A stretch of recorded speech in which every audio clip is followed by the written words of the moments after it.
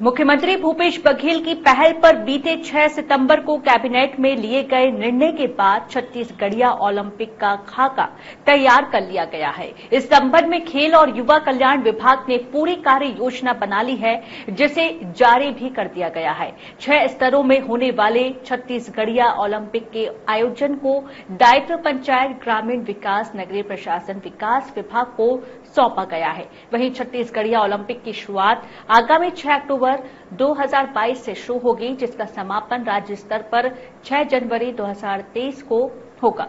वहीं दलीय और एकल श्रेणी में 14 तरह के पारंपरिक खेलों में फ़िलहाल शामिल किया गया है। अब ये छत्तीसगढ़िया ओलंपिक की घोषणा हो चुकी है। गिल्ली डंडा बाटी कुबड़ी से लेकर के जो छत्तीसगढ़ी की परंपरागत खेल है, उसका आयोजन होगा। पंचायत स्तर पे होगा, ब्लॉक स्तर पे होगा, जिला स्तर पे होगा, प्रदेश स्तर पे होगा। और जो छत्तीसगढ़ के परंपरागत खेलों का बढ़ावा देने के लिए ये बहुत अच्छी पहल है, माननीय मुख्यमंत्री जी ने कहा है और इसकी शुरुआत बहुत शीघ्र होने वाली है।